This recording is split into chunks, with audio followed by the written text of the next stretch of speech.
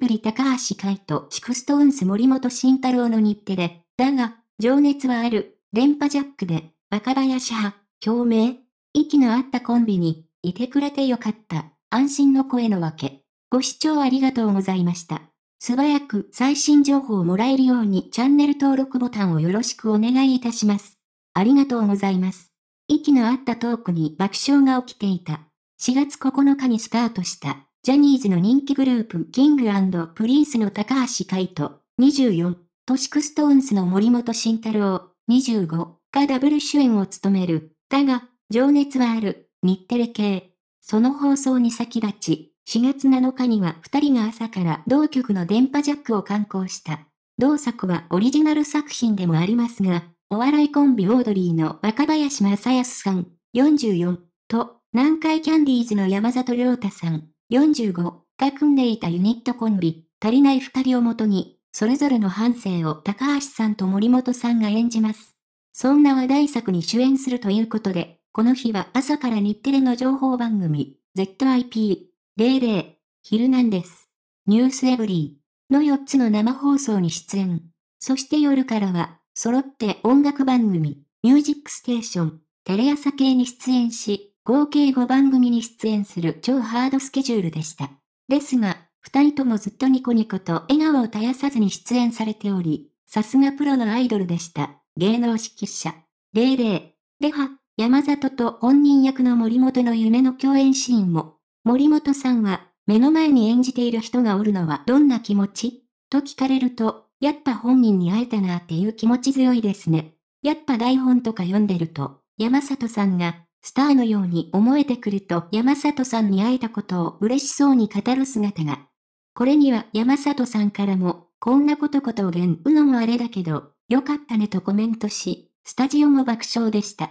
また高橋さんには、若林さんを演じる上でこだわった部分を聞かれると、喋ってる時のイントネーションが自分と違ったので、頑張って寄せようとしてますとコメント。すると山里さん本人からも、高橋さんの寄せ具合がすごいよ。僕は、足りない二人っていうユニットで若ちゃんと二人でずっとやってたけど、オフのシーンの若ちゃんの喋るスピードと、人前に出るからってスイッチ入った時のスピードの使い分けを完璧にやってるからね。心の声のナレーション聞いた時に、あ、若ちゃんナレーションだけ撮ったんだって思ったくらい、激似だったと高橋さんの役作りに感心している様子でした。全道、森本慎太郎に山里が激怒。そんな山里大絶賛の、だが、情熱はあるに関して事件が、山里さんの、00に出演した際には、渾身の一問として出題されたのは、若林派山里派という質問に、高橋さんと森本さんは二人揃って若林さん派だと宣言。この本人役を演じる森本さんの裏切りに、山里さんが座っていた椅子をぶん投げようとする仕草を見せていました。全道。しかし、これも高橋と森本の息の合ったコンビネーションによるジョークだったという。結局、もちろん二人はそれぞれが演じる若林さんと山里さん派を選択していました。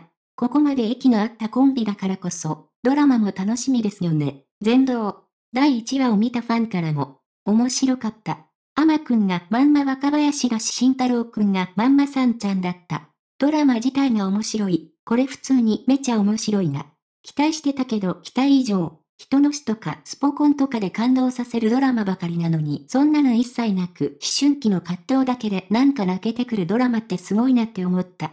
本気で作ってるのが伝わってきた。来週も楽しみ。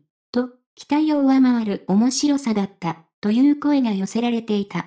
そんな中、高橋のファンからは森本への感謝の声も、高橋さんの所属するキンプリは、だが、情熱はある、放送中の5月22日をもって、メンバーの岸優太さん、27、平野志陽さん、26、神宮寺優太さん、25の3人がグループから脱退します。高橋さんと長瀬廉さん、24の2人だけでキンプリを続けていくことを発表しています。そんな人生の分岐点を迎える高橋さんのそばに、仲の良い森本さんが寄り添っていることは、ファンにとっては少しほっとしますよね。全道。もともと二人は、それぞれのグループを掛け合わせた、ストプリの末っ子コンビとして人気があったという。そんなコンビでの共演に、ファンからは、かいちゃんおめでとう。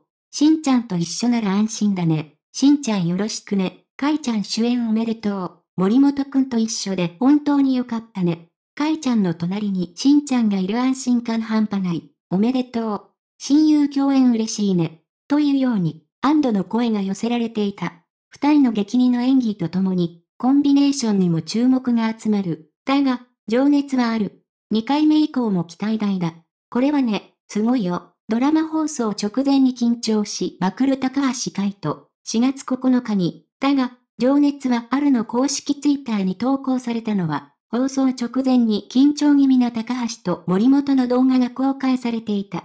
高橋は一足先に1話を見て感想として、いやー、これはね、あのね、すごいよ。今までのドラマで見たことないなって思ったと正直な感想を述べていた。ご視聴ありがとうございました。